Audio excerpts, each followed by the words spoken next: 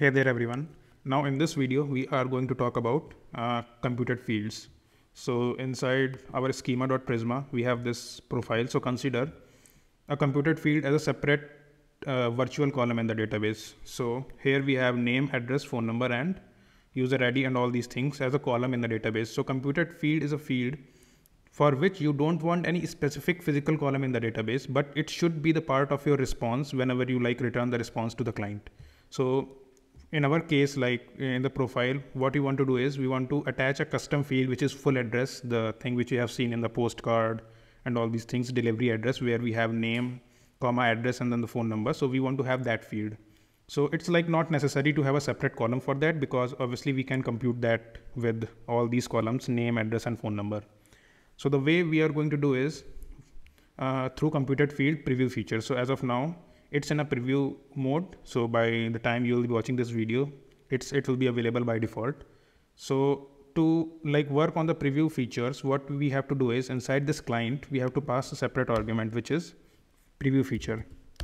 And preview feature enables you to use the features that are not yet the part of the prisma client but is still in a testing phase. So we want to use one that one such feature which is client extensions.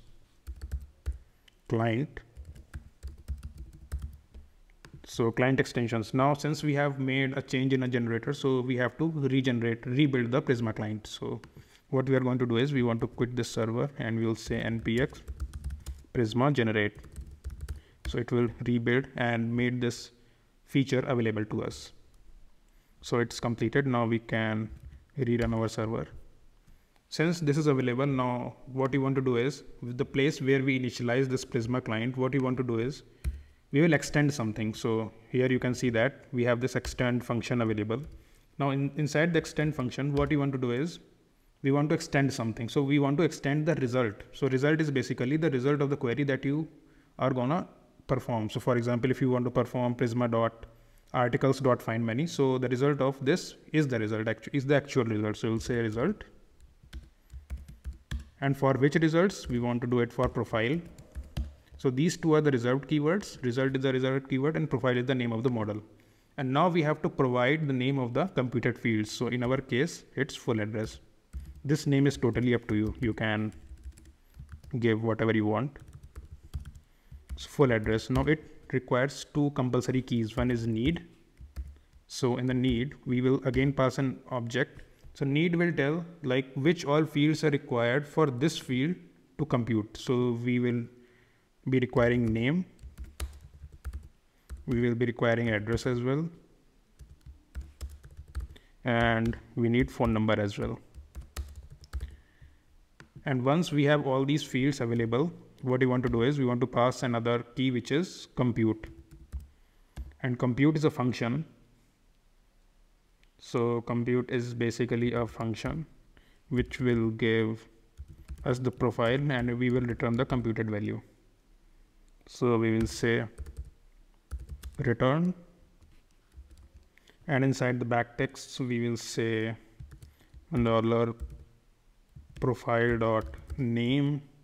And then new line will say dollar profile dot address. And then again in the new line we'll say dollar